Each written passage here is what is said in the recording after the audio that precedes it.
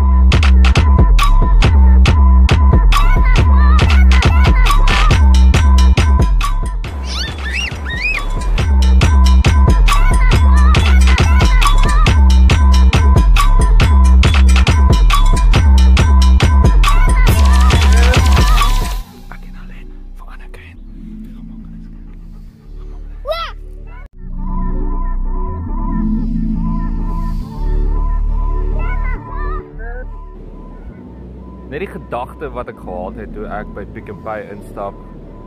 Ek wou 'n bos rose gevat het en uitgedeel het vir mense. Ek het vir die rose gestaan asof dit die 20 mense is wat my gaan snaaks uitkyk. Is fucking vrees aan jou hand. So verskoon maar as ek as ek nie reg klink of ek weet wat ek sê nie. Alhoewel, kyk, ek moet sê. Mag dan klink dat ek nie opgewonde is nie, dat ek vrees bevang. Ek is fucking vrees bevange. Hierdie shit is real. Ehm um, om te dink daaroor, om te praat daaroor, al daai goeders. Dis maklik. Dis maklik. Almal het Truth or Dare gespeel. Alles almal is game vir die game tot jy moet dare. Dan kies jy maar jy net Truth. Hierdie is net Dare. Ek gaan wel my woord hou. Challenges wat julle geplaas het. Ek gaan my challenges keep. Ek is bly uh dat julle supportive van dit is en die feedback wat ek gekry het was amazing. Ek meen ek staan amper op uh, 300 views. Um net op die video toe ek die challenge announce het.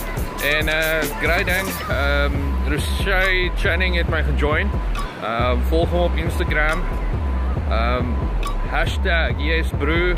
Sy Instagram naam is RocheFX. Volg hom gerus. Hy gaan ook challenges uitplaas en wat hy gaan doen en rekord en afneem en en discomfort seek. Dit is 'n crazy crazy crazy concept. Um ons almal is in ons comfort zone elke donderdag. Wat ons probeer 'n verskil maak in ons lewe. Dit doen nie. Jy moet uit daai comfort zone uitkom. Dit is fundamenteel in ons menswees. Dis hoekom ons explore. Ons het onsself geplaas in boksies en huisies, konkrete torings en uh beskerm onsself konstant en ons beskerm ons emosionele self. As sand tussen die tone gehad. En